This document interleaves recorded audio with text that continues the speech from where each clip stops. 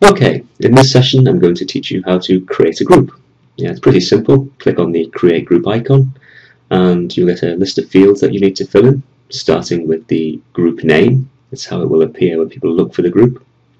And then a description, uh, basically just some textual description of, uh, what your group's about. Um, and then you can go on to select a logo.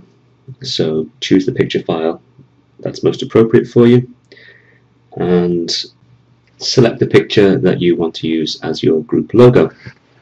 Okay, once we've done that we need to choose what type of group we want. Um, there are three options, open, approval or invite. Um, open is completely public, approval members can see your group and request to join and invite is when you invite people only to participate in your group.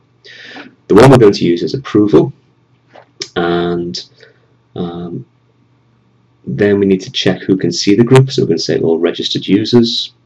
Um, invite access is who can invite members to the group. Uh, in this case, I'm happy for other members of the group to invite, so we say group users. And then I want to say, do I want my users to be public or not? Um, so in this case, I'm happy for users to see who the group members are, so I'll say users public is yes. Our next concern is whether or not we use nested groups. And nested is basically there to decide whether you have subgroups at a later stage. So for now we're just going to leave it, um, but we could specify that in the next nest part who would create these subgroups. At the bottom you can see that there are a number of tabs that talk about um, the applications integrations that are available. We're going to deal with those in the next video, uh, but for now we're just going to save this group bottom left you can see on your screen.